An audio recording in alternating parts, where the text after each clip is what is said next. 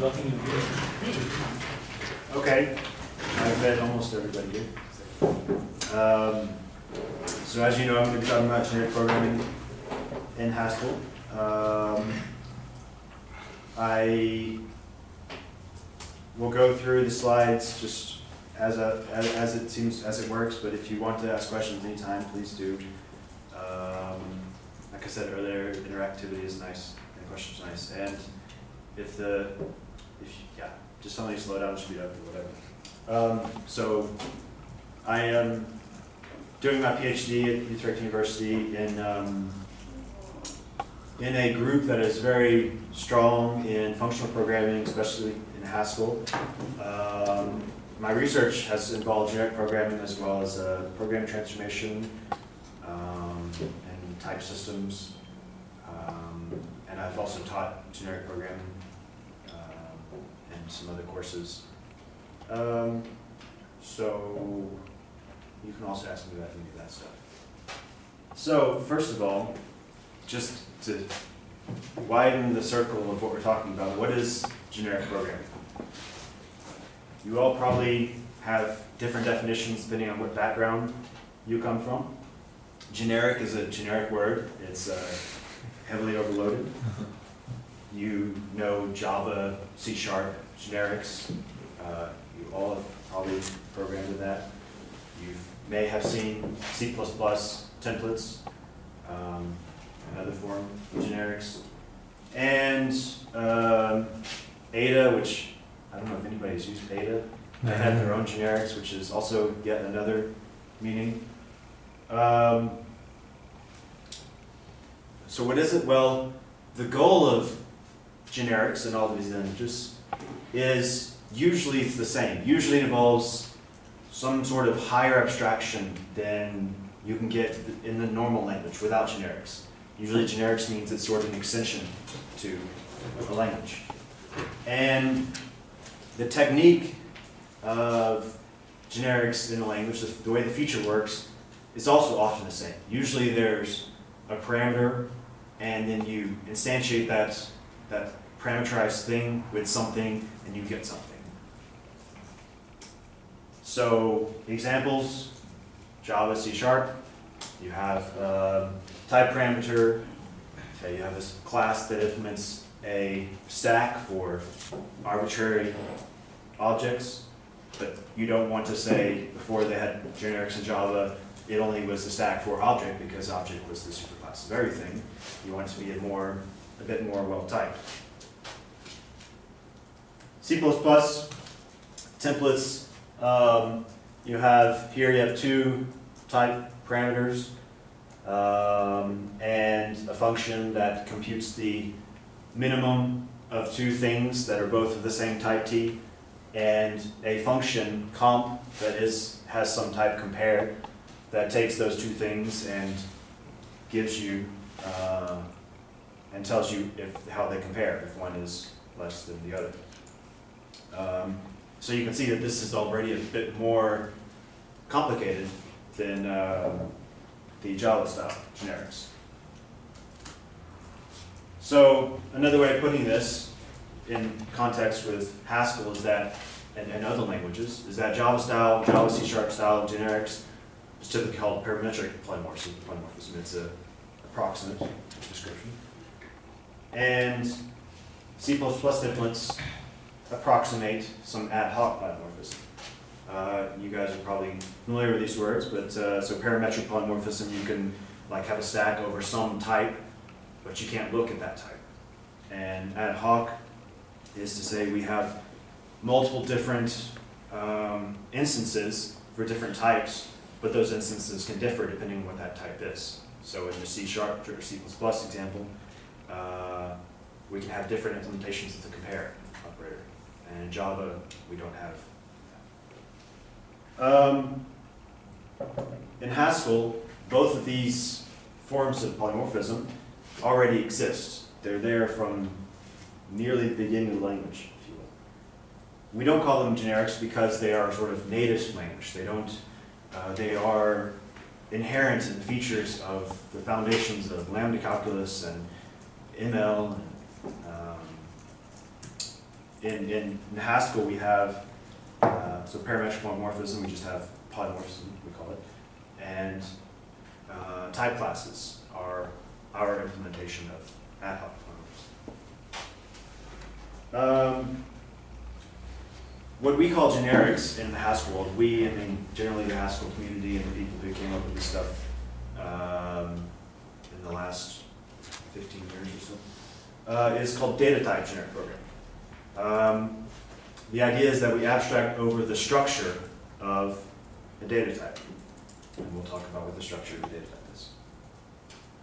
There are other names for it that have gone through the years, uh, polytypism, poly being many, so multiple types. Uh, shape, structure, polymorphism, another way of saying polymorphism. So, to talk about data types in our program, we have to start with data types.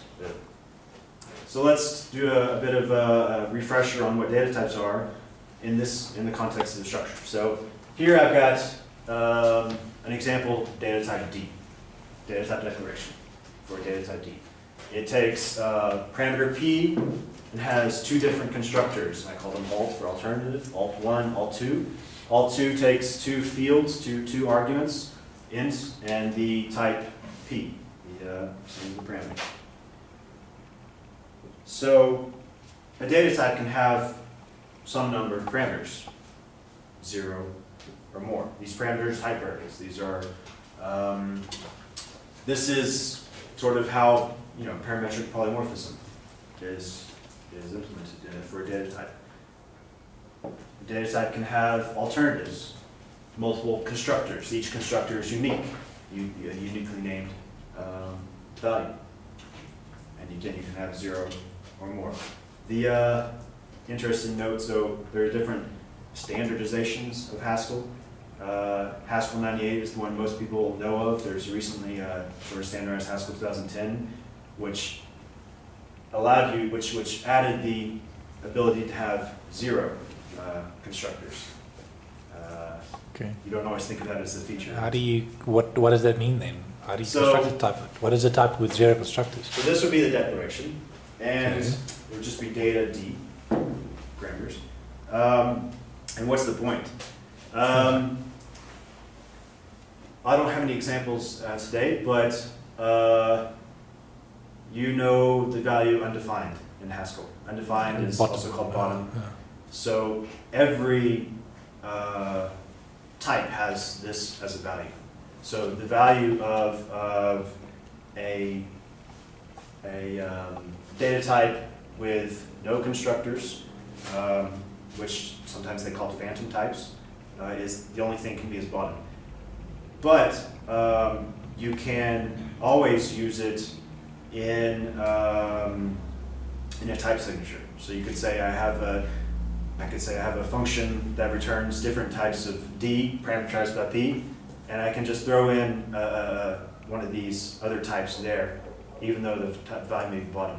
And this can give you a bit more um, type safety, because now you can distinguish the different uh, um, things that are parameterized by this D. It's a bit fuzzy. Um, it also is helpful with, it's also useful with uh, um, generalized algebraic data types, GADTs. Mm. The point is that you don't, it's, it's, it is an extra feature because you can always declare a data type with one constructor and then not use that constructor.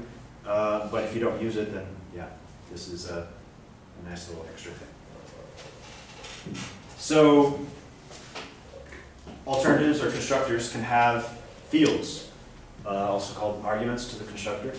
Um, they're declared with types, uh, as I, as I give here, int and p. And these can be zero or more, so I have one with zero and one with two. Um, some other non-syntactic features, so I've just mentioned the syntactic features, the ones that are, you can see from the syntax. Recursion, I could have had one of these fields also be a D.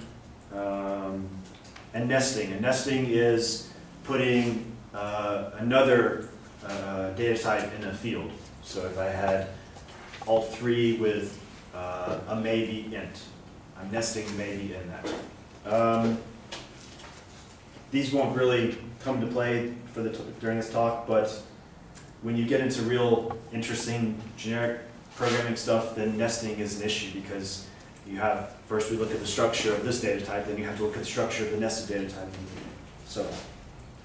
Um, and there are other features, as I mentioned, GADTs, um, many others, but we'll stick with these as a, as a basic foundation. So first, let's talk about the alternatives that I mentioned. So here's another example data type, A1, A2, each one has a single field, single uh, type for field. Notice that this is quite similar to the either type.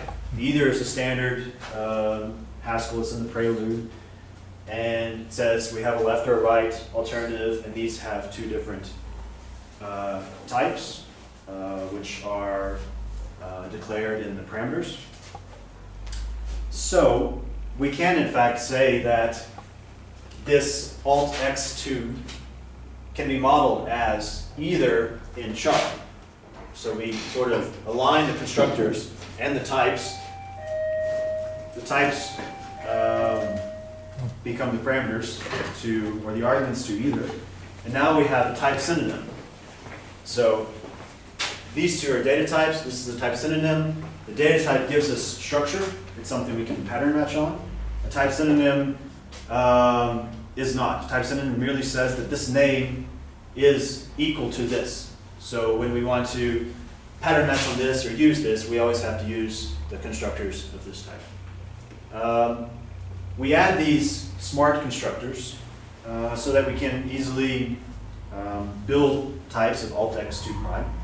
So now, instead of using these, these constructors here, we would use these. Now pattern matching, we still have to pattern match on left or right. Um, no big deal. So you can see there's a correlation between these two. The, uh, in the structural sense, we typically call these sums. Um, the either is a binary sum type, just to, to, to reduce the size of the code and sort of just distinguish this from every any other either. Uh, we'll use the special type, which is exactly identical to either. Uh, we just call it plus with L and R. So what about data types with more than two alternatives? Well, we gave a binary sum, but this is trinary. Um, no problem, we just nest them. Hmm. So we have our plus inside as a, as a, uh, the right of the first plus. Hi. Um, so you can see this can go arbitrarily deep. This is one solution. You could, and I, I will, the standard solution is to right nest it, put it in the right side. You can also, if you have really big alternatives, you can balance them and do interesting things there, but this is just the simplest. Uh, and just as an example, here we would have a smart constructor for B3, which says we sort of, we inject it into the right side and into the right side again. So we have right composed with right. And for B1, we would say um, left, and for B2, we would say right composed left. Okay, so that's, that's sums. That's the, that's the basics. Now we have fields, sort of an orthogonal feature. And if you saw my email, you saw that there's this, uh, you know, relationship between sums and products. So here we've got an example, one alternative, two uh, fields and some char. And again, we have a similarity with a, a standard type, a pair, um, a tuple of two fields.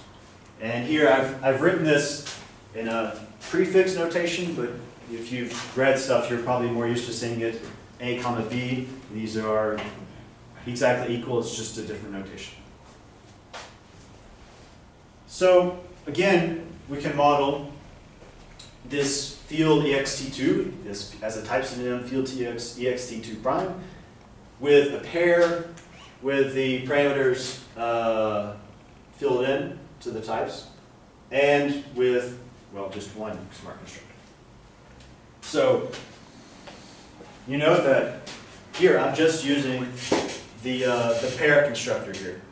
But I've specialized the types so that this is really only suitable for uh, constructing these, this, um, this model.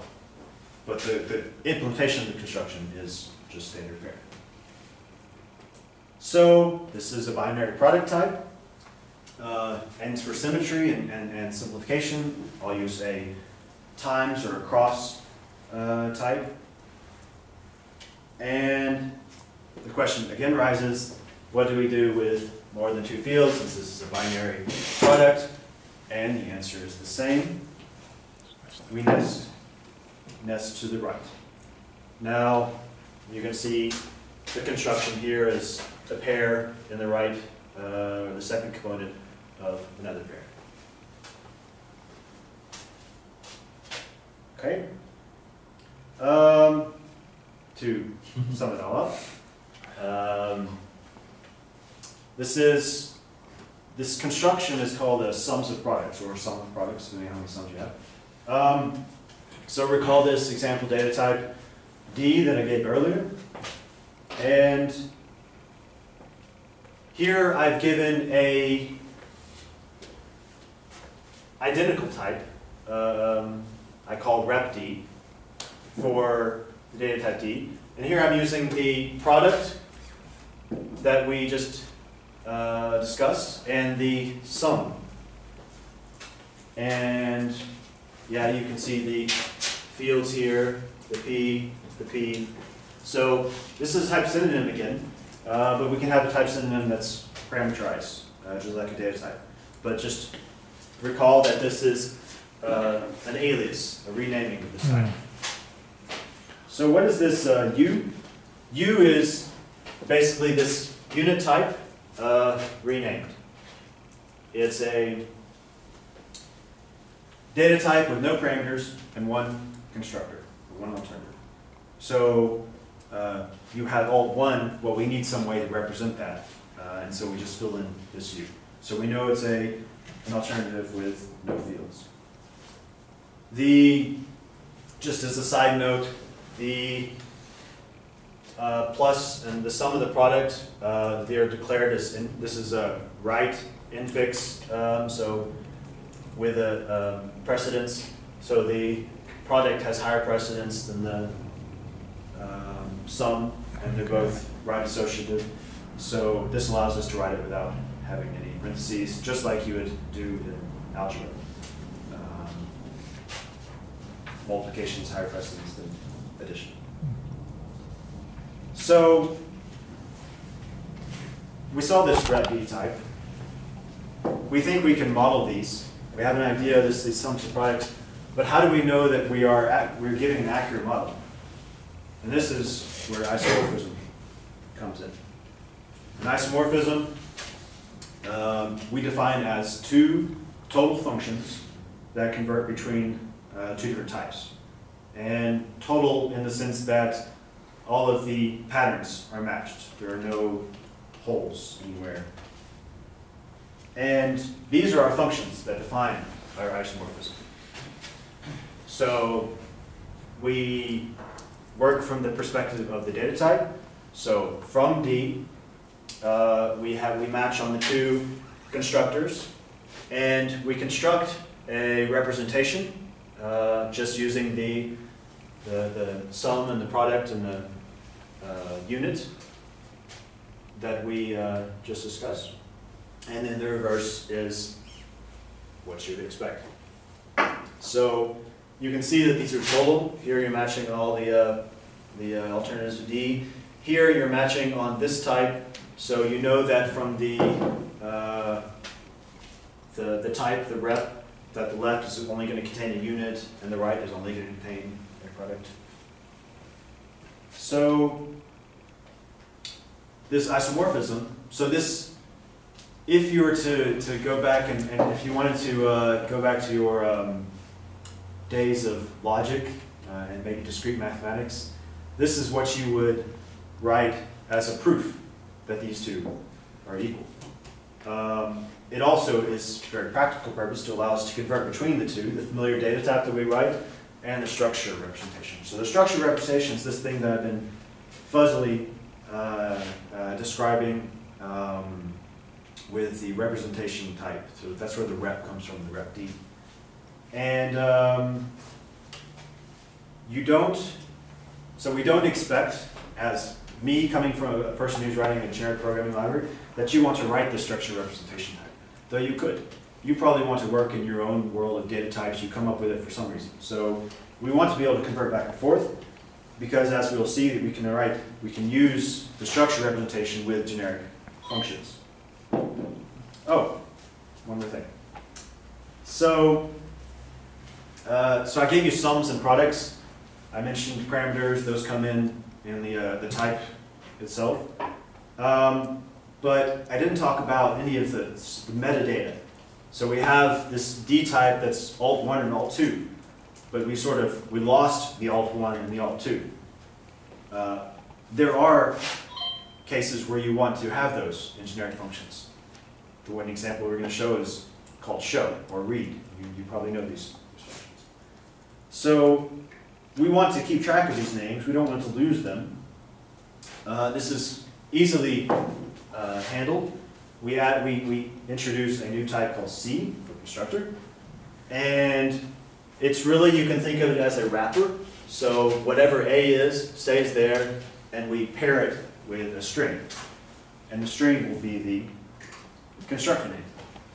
So if we rewrite our um, representation type to wrap each alternative with a C, uh, then we can name these alternatives.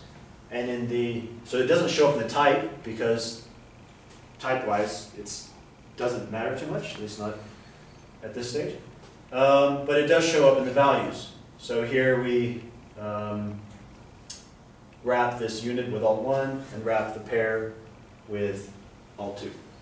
So it's a pretty minor change, but it's useful for a lot of generic functions. Okay, and there's other metadata that we won't worry about, like if you have infix operators, you have fixity, or yeah, whatever else these fancy data types will throw at you. So, okay, okay. So we've, we've got all the structure representation. What can we actually do with it?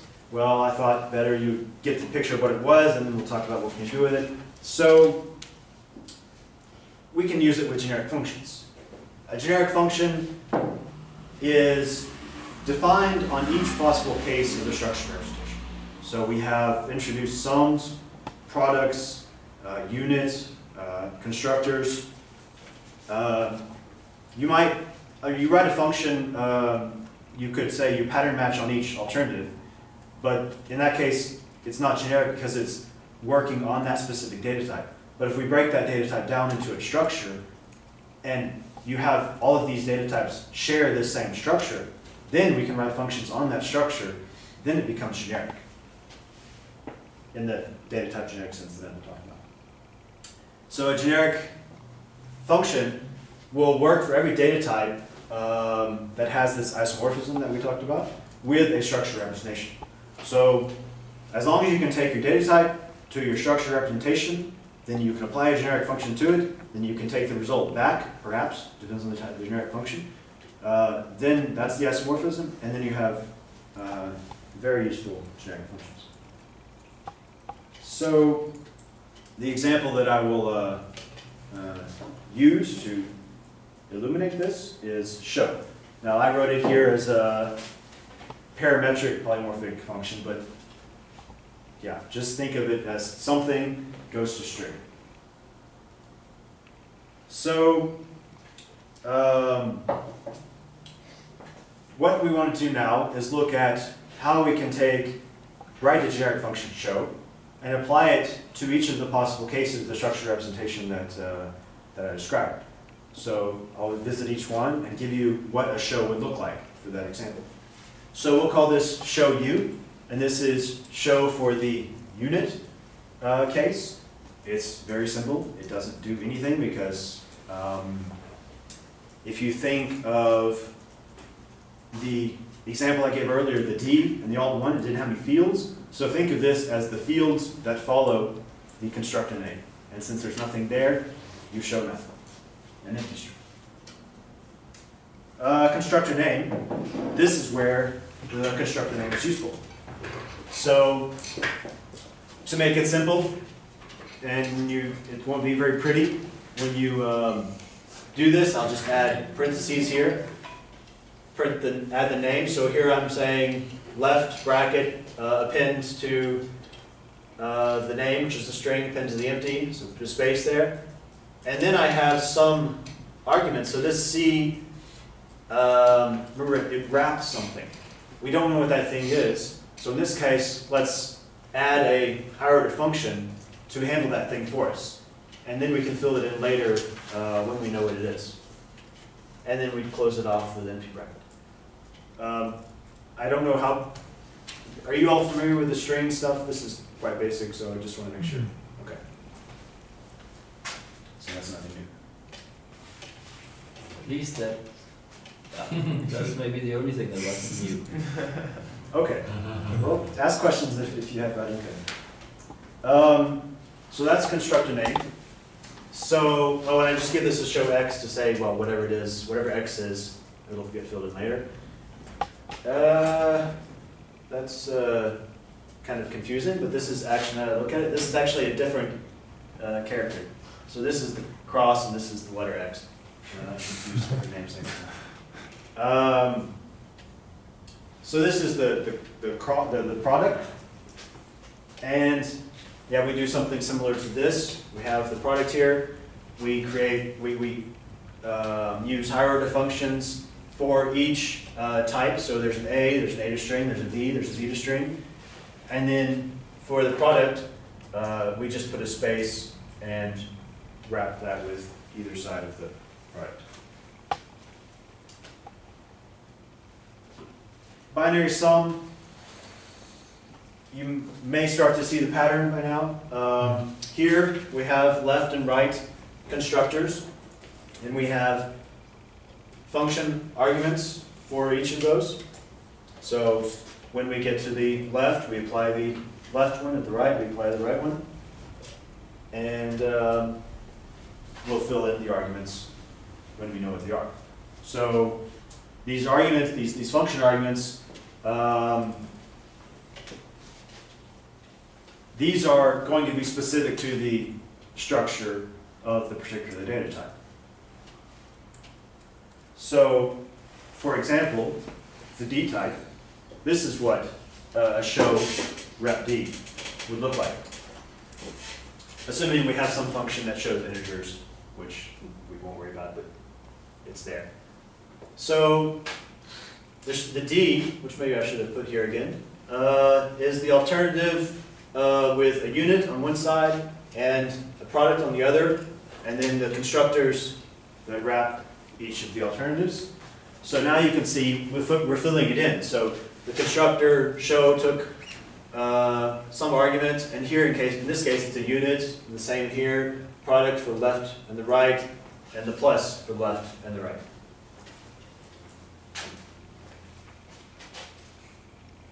Oh, and the uh, parameter. Since this is a parameterized um, data type and a parameterized representation, we again have a, an argument here to handle that parameter. Uh, and that shows up here. So when we want to show uh, a rep D, uh, we have to instantiate this uh, parameter with whatever the type is contained in D. Um, now if we want to show a D, it's a hop away. It's a, it's a um, composition with one of the functions from the isomorphism from D. And in this case, this function produces a string, uh, so we don't need to use the other side, the to D. Uh, so we just need to get from the data type to the representation and apply the, um, I won't call this a generic function because it's clearly not generic yet, but apply the show rep D with the same parameter that we get there. Okay. So we're getting there. Um, some observations. As I said, this is not a generic function yet, but you can see a pattern, right? You can see this is a very predictable pattern. I could, uh, I could give you any data type, and you could probably write down uh, the uh, show for that data type. So that's good, uh, but it's not quite there. Another thing is to, to know is that all these functions are named show, show something. Um, so they are kind of recursive in a way, uh, but not in the normal way, right? We can't define, we can't say show with show, show, show, show, show or something here because uh, they all take different types. They're all something to string. But there's the fact that there's something to string, that's, that's, that's useful. Um, another thing to note is that each data type, you know, data types, you have all different structures with these alternates and fields. You have all different combinations. And thus you can have all combinate all these different combinations of uh, sums and products. And we want to support all of these uh, generically. So we obviously don't want to write this function for every representation. So to jump into um, sort of true uh, generics or genericity, um, where we can have a structure as a, as, as a parameter instead of a pattern, we need a few more things. We need polymorphic recursion. So recursion, we're all familiar with. Uh, the polymorphic part is where the uh, types can change. So you can call a function uh, recursively, but its type may change. So really you can think about this as functions with a common scheme, um, but that may differ in a particular place. And you can think of the show functions as each of these, each instance, as different instances of, of the scheme. And the argument position is what changes type. And there's your sort of visualization of this. Uh, if you just put in a bubble there that you've left to be filled in later, you can see that this is the, the scheme. Um, another thing we need is a common encoding for isomorphisms. Uh, common in the sense that works for all data types, or all the ones that we are interested in. Um, this is, the idea is you have a data type T, whatever you want, you define it yourself. Uh, you have a structured representation that you can figure out from that data type T. And then you have an isomorphism from T to its representation and back, the from and the to. So we want to be able to do this for any T. So common to any data type T. So first let's look at polymorphic recursion.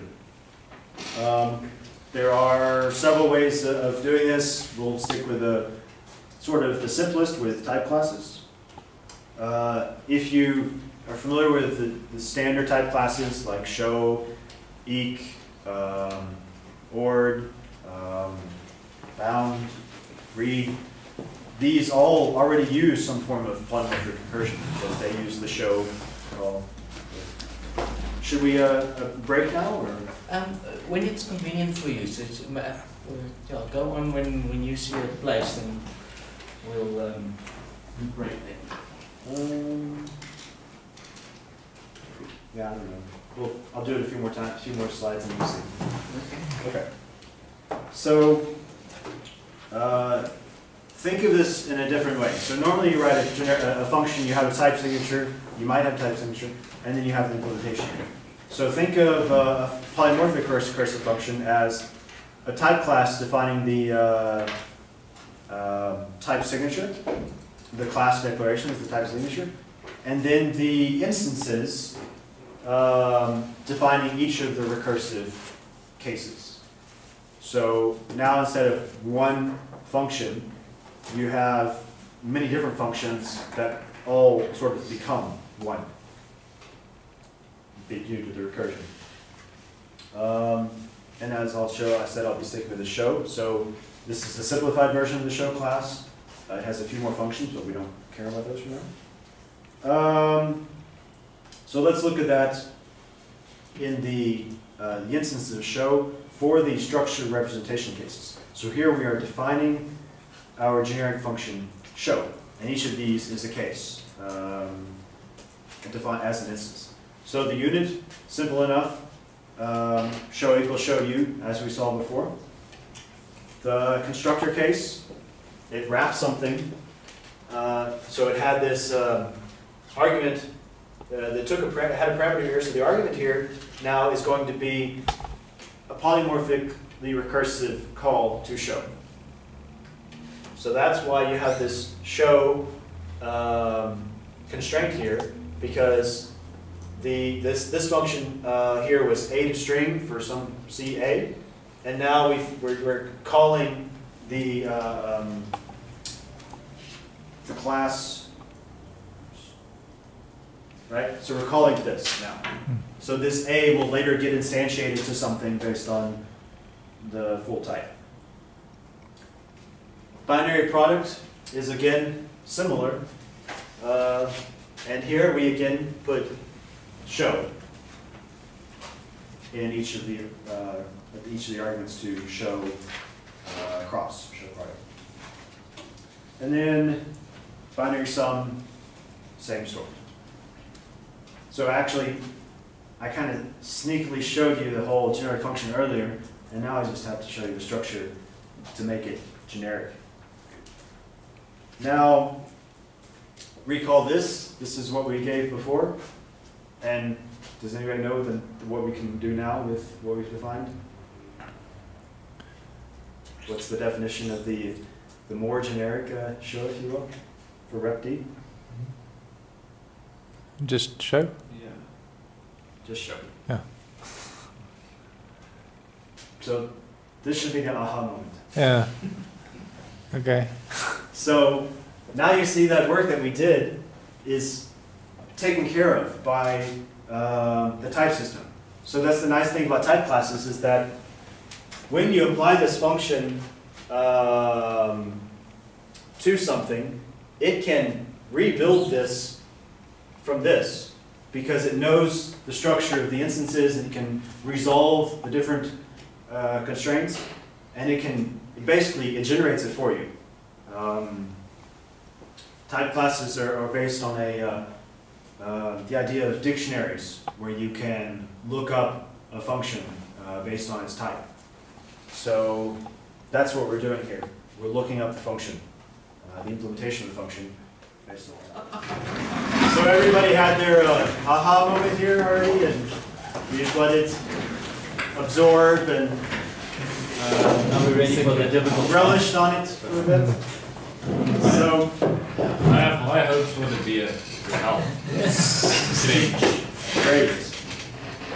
So, what we got here, we, we got our show, and recall that this was just for the representation type. Uh, this is the, the generic stuff. So, to use it with our actual data type, we still need to use that function from our isomorphism to get the representation, and then we can uh, define our show for the type D, for example. Um, so this is still not quite good enough because we have to write this uh, isomorphism for every um, every type, and we have to write this function in order to show that type. So um, our next goal is to define one show function that knows how to convert any type T to its representation and given this isomorphism we talked about previously. So this is the encoding isomorphism part. So we define a class of function pairs. Uh, and we'll again use the type class like we've been using. But this type class has an extra twist, a, uh type family. Um, how many people are familiar with type families? Excellent. Brain frying. so each function pair implements an isomorphism between data type and structure observation. One more. From, to, and if you look at these, you think, first you must, you must think that you have two types. You have T and a rep T. Unlike show, which had one type. So we said class show A where blah. So this A was this one type that the class is parameterized on, right? So every instance has a different A. Here we have two types. We have T and rep T. Both of these are sort of uh, unknown, right? So, but rep T is determined by T. It is isomorphic to, it is identical to in some way. It is, it is T in another universe. Uh, so we really only need one type. We really only need T because we can figure out rep T from it. And there are two concepts in uh, Haskell that have been floating around for several number of years. Um, so we saw type classes. So there are extensions to type classes, these two. One is a multi-parameter type class uh, with what's called functional dependencies. And another is uh, type classes um, with type families, or just type families by themselves. Um, these are, I won't go into the to the details behind these. You can Google those if you like. Uh, but basically, I just want to say that these are equally expressive for what we want to do. So, yeah, it's a matter of taste which we do. I will uh, describe the type family one um, because it's nicer in a sense. Um, so that's all I'll say about that. Okay, so we want to encode an isomorphism. We have a type class. We have a pair of functions. We have the type class parameterized by some type A. And in this type class, as I said, we have two functions, and we have an extra type uh, field, so to speak. So we call this rep. And this, the notation here, type should make you think of what I talked about earlier, the type synonym. So type synonym is a, a new name for an old type. Um, and this type synonym rep is, so you each, you can think of the, you know, each from function to be parameterized by this type A, and then when you give an instance, you instantiate it. So that's the same thing here. So this type rep is parameterized by some type A. So, as I said, rep is a type family. More precisely, uh, it's an associated type synonym. It's associated with this type class. That's what that means. Um, one, the, the, the way that you should try to think about rep, this type family, is as if it's a function on types. So we have functions on terms, we have from that pattern matches on whatever type A and gives you something of type rep A. Well, rep also given uh, some unique type, and you, this is often called a type index, you get a type synonym rep t, wherever that, uh, for whatever t is. So you can think of rep as colon, colon, type to type for all the world of types, if you want. Um, one thing to note here is that uh, for some type T and some type U, uh, rep T and rep U, so these are unique, so T and U are different, they're unique. Um, if they were the same, then they would, then rep, the result would be the same. But even though these are different, U and T, rep T and rep U may not be different. They may be the same type.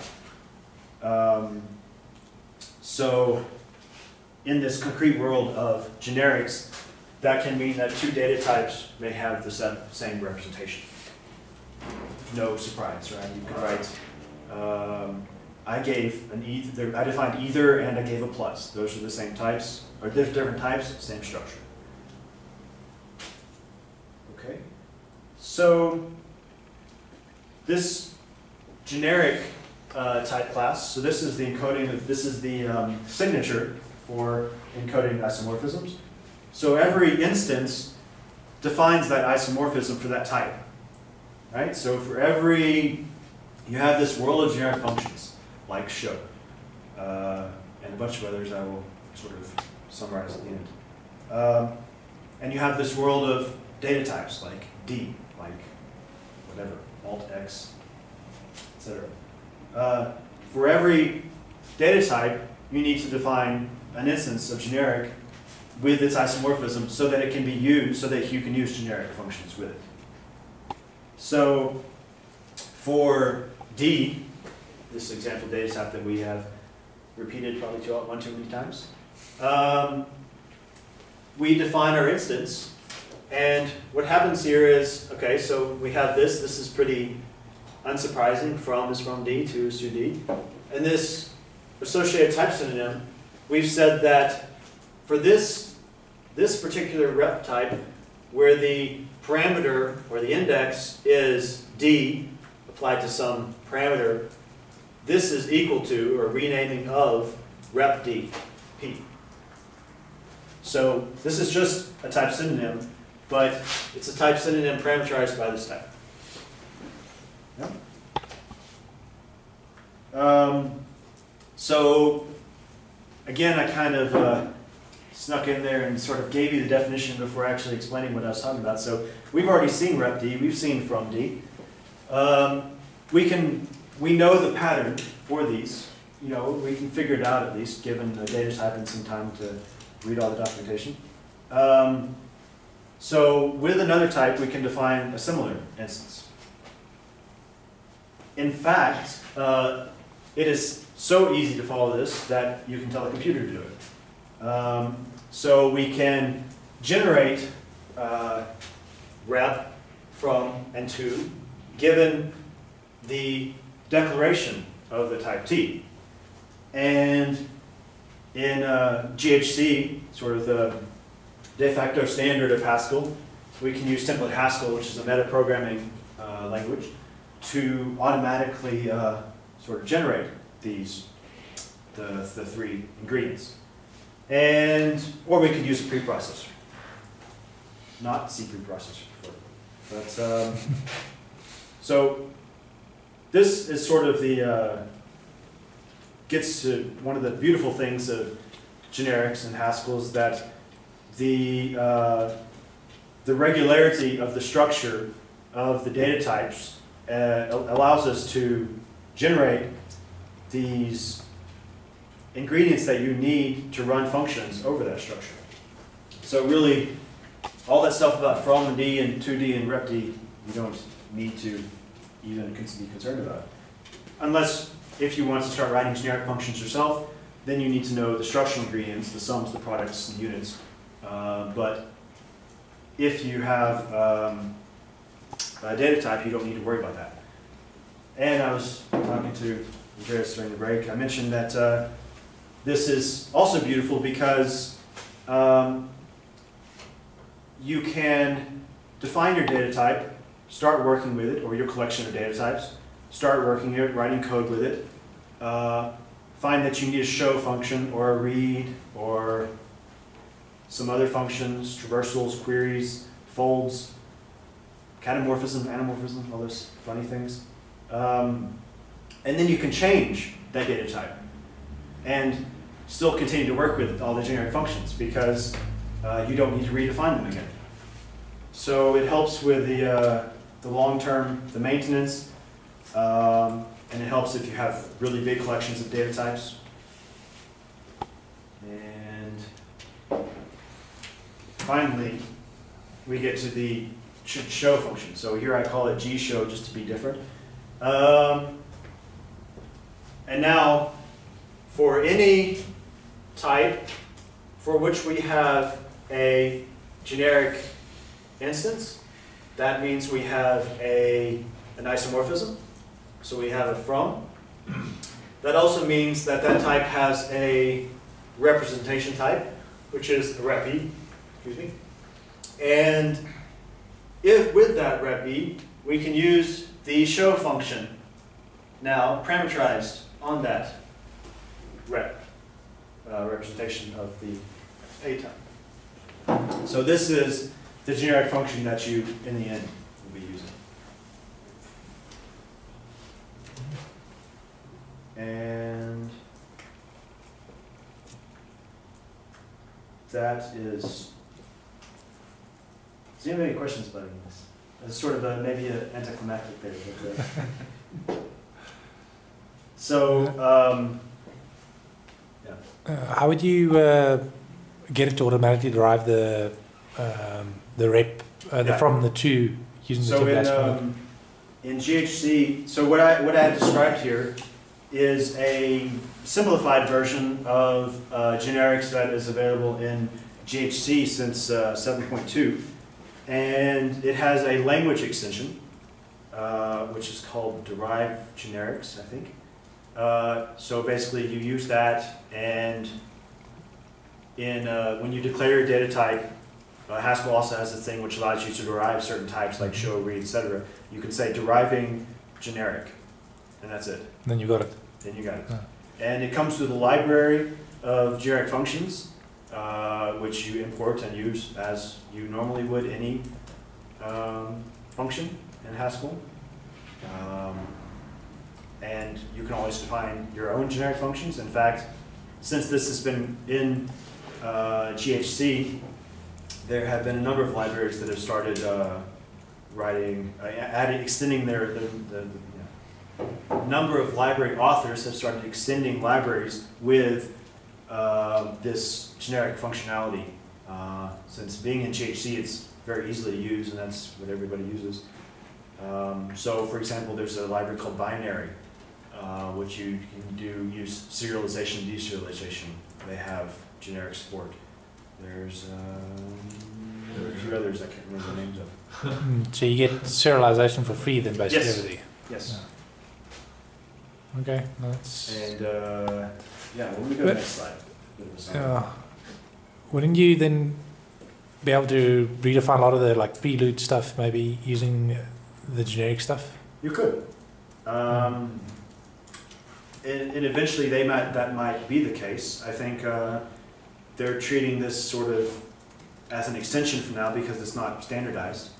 Um, but there are, so there's this core set of classes that's standardized and that every Haskell 98 uh, compatible compiler should derive instances for you. Those are, show, read, equality, ord, bounded. Mm, one more, can't remember. Um, so you already get deriving from those, and in fact, those are sort of the old style generics because the compiler, uh, in order to get those instances, goes through and parses your uh, the, the Haskell source, the data, your data type declaration, and figures it out for you.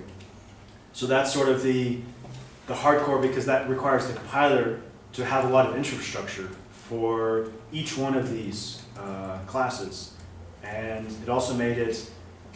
It was it was like this for a long time where there were no more deriving classes because there was so much work to implement, and the compiler has to change for every one. So the nice thing about the new generic way is that the compiler just needs to generate a generic instance, and all of these uh, functions can just be in a library.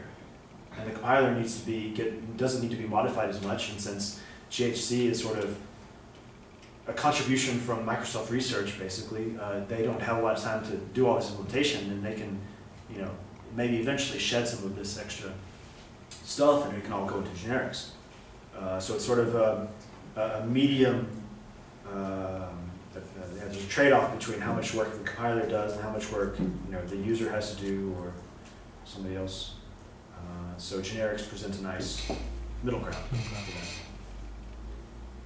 Um, so this is sort of a summary of uh, generic programming and the end of the, the first half, and then we will see if we want to stay the second half. So data type generic programming, the point I'd like to sort of convey is that the data type, or the data type declaration, is the parameter That's the, the generic part. Uh, that's the, that's what we're abstracting over. And then instantiating uh, uh, a generic programming library um, gives you a large class of generic functions for free, basically. Um, and these functions are, they don't give you the parametric polymorphism of Java or the ad hoc polymorphism of Diplet Haskell, but really it's a, it's a structural thing. It's based on the, data type itself. So uh, it's, it's a different class from these. And you could actually say it's a subset of ad hoc polymorphism in the sense that you have all these cases, uh, but yeah, it's a bit fuzzy. Um, so I, I presented the show function. Uh, I didn't want to, um, I know there are a lot of other functions I could have, uh, I could give. Uh, I hope this gives you a taste of what it's like. Um, uh, these are just some of the other mini generic functions because I wanted to uh, save time at the end for the other thing. So pretty printing and parsing, these are quite standard generic functions. Compression, serialization, decompression, deserialization. Um, these are also very easily done generically. Comparison and quality, you have two data types, you want to check if they're equal or ordered. Um, these are, so the first few are sort of, um, take one uh, generic parameter and produce something else, like a string or a bit string or something. Comparison takes two and produces uh, one value. And then folds, unfolds, maps, zippers, zips. Um, you've seen map on lists, of course. Uh, you may have seen fold, you've seen fold L, fold R. Um, these are all instances of generic functions on lists. And you can do the, um, the analogous function for all tree-like data types. So these are, uh, these are very dependent on the recursion. So you have, the, the, the canonical example um, is like an, an abstract syntax tree for a compiler or a um, interpreter. Uh, a fold is a way to do maybe evaluation or maybe a transformation to uh, another type. An unfold is the reverse to sort of to construct a, uh, a tree. And map is mapping over all of the elements. A zip, you take um, two, uh, a list of, of pairs and you produce a, a pair of lists, for example. Um, or uh, a zipper is you are you familiar with zippers? Anybody not familiar with zippers? Okay. Um, so zippers are uh, the way to um, traverse a tree, and you can do this generically with uh, any, anything, even, even with mutually recursive data types. So if you have a family of data types with declarations and expressions and sequences and um, everything, then, then you can write a zipper to find uh, locations in that generically. Um, traversals, updates, and queries.